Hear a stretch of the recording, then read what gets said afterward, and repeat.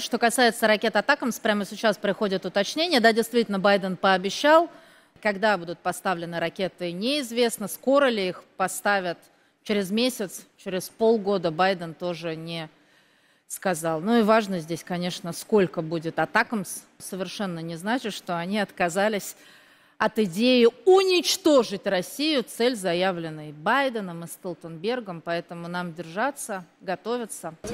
Вы держите здесь, вам всего доброго, хорошего настроения и здоровья. Я не помню, что там цель была заявлена уничтожение. Вот, соответственно... Стратегическое поражение Российской Федерации, да, но... сказал президент Байден. Пораж... Этого мало? Поражение, да, но если бы Байден хотел, естественно, уничтожение, он, туда поставил ядерное вооружение. То есть нас как бы устраивает поражение, но не Нет. устраивает уничтожение? Нас не устраивает то, что война переходит, конфликт переходит пока что на... Расчленение подойдет? Снести нахрен с лица земли, если надо. Нас не устраивает прежде всего то, что конфликт переходит, соответственно, в стратегическую фазу, войну на истощение. И в этом случае, соответственно, дальнобойное вооружение и удары, соответственно, по инфраструктуре станет важнейшим фактором этой осени. С одной стороны, будут пытаться вынести энергетическую инфраструктуру, что сейчас происходит. С другой стороны, удар будет происходить по энергетике и, соответственно, по военной инфраструктуре. И в этом смысле поставки Атакмса ограничений для этого не будет. Вова из Киева э, мечтает о ракетах. Вова, ты получишь ракеты, жди.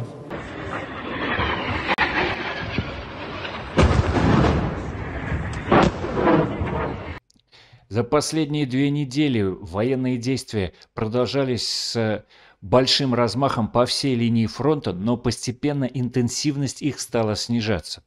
Российские войска практически полностью приостановили наступление на Купинском и Лиманском направлении, ограничиваясь там артиллерийскими обстрелами, а украинцы серьезно снизили интенсивность своих атак под Работино. Боевые действия высокой интенсивности сосредоточились вокруг Бахмута, преимущественно на южном его фланге, где украинским войскам удалось добиться серьезного тактического успеха, взяв Андреевку и Клещеевку и разбив три бригады российской армии. Однако Россия сумела перебросить подкрепление на этот участок и ведет ну, достаточно хаотичные кровопролитные контратаки с целью вернуть утраченные позиции. Клещеевка – это важный фортификационный узел, который расположен на возвышенности, и с него можно контролировать дорогу Бахмута, Горловка, ракадная дорога вдоль линии фронта, которая играет большую роль в организации обороны российских войск. Ее перехват ставит Бахмута в зависимость снабжения только с одной дороги, через Попасную. И, в общем, серьезно ограничивает оперативные возможности российских войск. Украинцы же открывают себе перспективу обхода Бахмута, взятия его в оперативное огневое окружение, что, скорее всего, заставит русских город сдать. Потому что контратаки у них не получаются. Продолжаются бои под Маринкой, под Авдеевкой без серьезных успехов. Яростный навал русской армии на Маринку захлебнулся. Город взять им в очередной раз не удалось. Но вот на южном направлении очень интересные вещи происходят в районе Работина, где бои идут, украинцы продолжают атаковать, продолжают наступать, но темп этого наступления серьезно снизился и практически за минувшие две недели никакого существенного изменения линии фронта не произошло. Из важных новостей военного характера то, что буквально вчера украинской армии удалось наконец провести через зубы дракона, через линию Суровикина, прорванную линию фортификации русской армии, тяжелую технику. Вот это очень важный момент, который показывает нам одну из главных причин, почему украинцам не удается развить прорыв, который они сумели осуществить.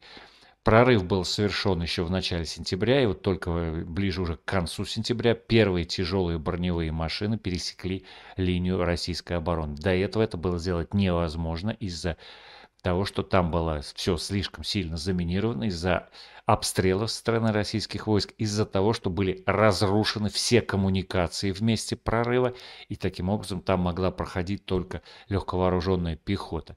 Ну и возникает вопрос, а как снабжать войска, которые зашли в прорыв достаточно глубоко, там километров 10-12 уже глубина этого выступа, Нужно было обеспечить подвоз боеприпасов, снарядов, движение техники. Вот наконец-то это сделали, но прошло две недели.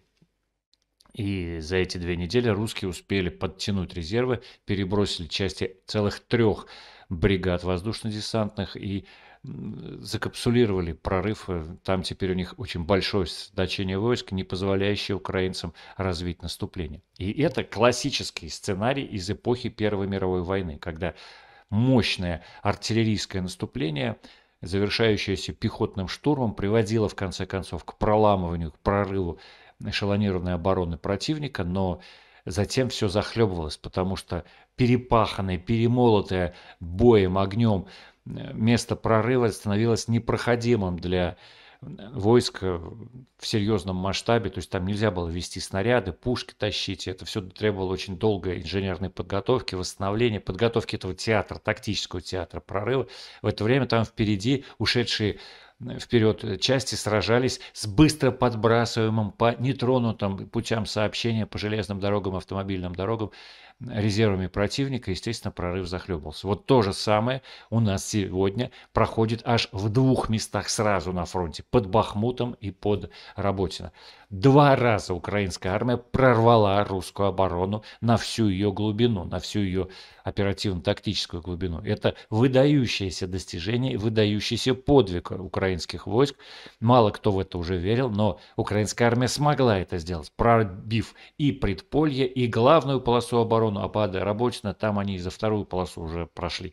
Но дальше в обоих случаях мы видим, что наступление останавливается. Русские успевают перебросить резервы раньше, чем Украина может пройти через это бутылочное горлышко место прорыва, где все перевернуто, перемешано с землей, взорвано. И там, ну, это лунный пейзаж, по которому очень тяжело что-либо, кроме пехотинцев, которые идут ногами или ползут, провести. Соответственно, вот это прирастает в оперативную проблему. Армия не может быстро развить прорыв.